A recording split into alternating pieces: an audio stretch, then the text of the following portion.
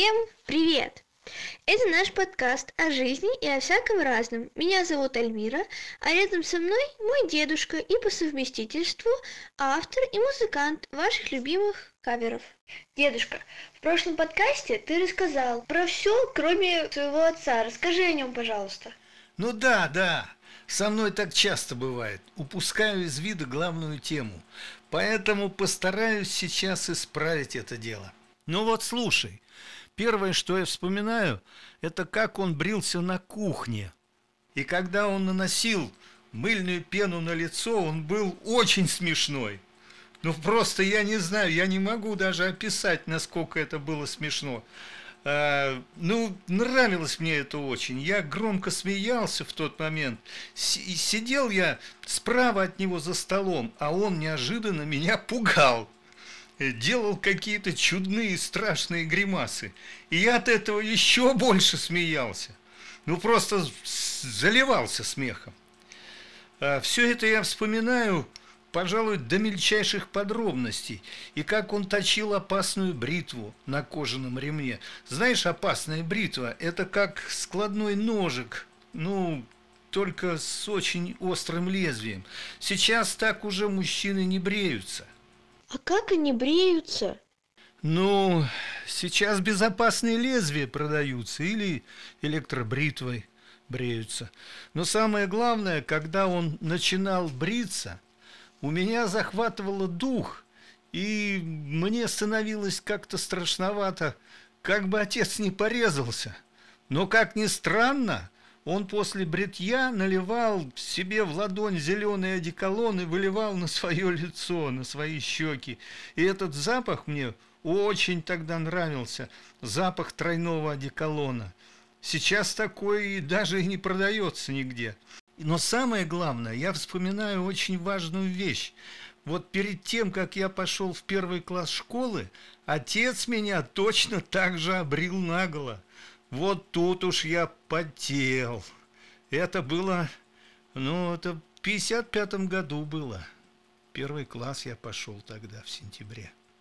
А что ты еще помнишь об отце? Ну, помню, как он тренировал взвод солдат на полосе препятствий. А что такое полоса препятствий? Ну, это вначале Э, идет такая колючая проволока, натянутая таким образом, что нужно под ней проползти метров 10. Если поднимешь голову, можно зацепиться за нее и даже пораниться. А затем там такое бревно на высоте, по которому надо пробежать и не упасть. А, и затем там, насколько я помню, такой деревянный щит высотой так где-то, ну, выше человеческого роста, через который надо перелезть. Ну, вначале там они подтягивались, я помню, потом ногу закидываешь так и через него вот переваливаешься. Вот это примерно, может, я что-то еще забыл, не помню. Но вот это и есть полоса препятствий. А, ну и отец вот разбивал этот взвод на пары и смотрел на свои часы. А солдаты ползли под этой проволокой, я даже помню выражение их лиц, но не помню эти лица, а вот выражение помню. И никто не поранился? Но это я не помню. Э, помню только, что когда солдаты ушли в казарму вместе с отцом, мой старший брат э, с дружком, с соседом нашим, Юркой Букиным, тоже начали брать эту полосу препятствий. Ну, было им, наверное, лет по 10 тогда. Вообще-то я очень многое помню из детства. И мне даже доставляет удовольствие какое-то делиться с тобой этими воспоминаниями. Откуда ты так хорошо все помнишь? А ты знаешь, а ведь когда... Я ведь когда был молодым еще совсем, о детстве не вспоминал. И даже тогда не помнил то, о чем сейчас тебе рассказываю. Просто, видимо, так мозг у человека устроен. С возрастом он все чаще и чаще начинает обращаться к детству. Это такая ностальгия по прошлому. Но на самом деле это хорошая тренировка памяти. Ты-то хорошо, например, помнишь, как ты участвовала в соревнованиях под художественной гимнастики, а? Я имею в виду, помнишь ли ты все до мельчайших подробностей? Я помню, это было февральское солнечное утро, я проснулась, оделась, и мы с мамой сели в такси. Я помню, такси было белого цвета, и оно сияло от солнца. Ехали мы около получаса. Мы приехали, и я вижу большое четырехэтажное здание. Я спрашиваю у мамы, мы правильно приехали? Мама закивала, и мы пошли внутрь. Мы заходим, и я вижу, как юная гимнастка стоит перед началом ковра и боится начать выступление. Все в шоке. Я прохожу мимо нее и иду в раздевалку. А когда я вышла из раздевалки, она переборола свой страх и выступила. Спустя 40 минут.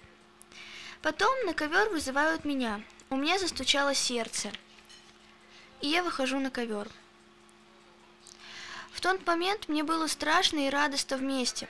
Я выступила красиво и с улыбкой, как мне сказал тренер. Наступает этап награждения. Все гимнастки выходят на ковер.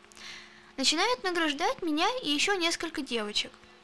Всех наградили, и остается только первое место и я. Когда меня вызывают на первое место, я заплакала от счастья. Ура! Я была на первом месте, и в тот момент я была очень-очень-очень счастлива. Ну хорошо, вот это и есть очень полезный тренинг головного мозга. И, кстати, если ты будешь глубже копаться в памяти, тебе захочется заняться физкультурой. Я это уже на себе много раз проверил. Но вот как это работает, я не знаю на самом деле, но точно сам для себя я такое открытие сделал. Отлично, дедушка.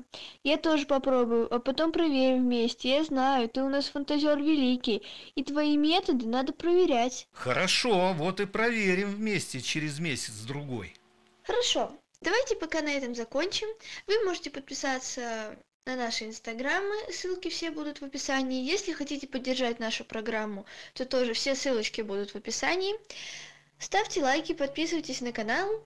Это было все и всем пока-пока!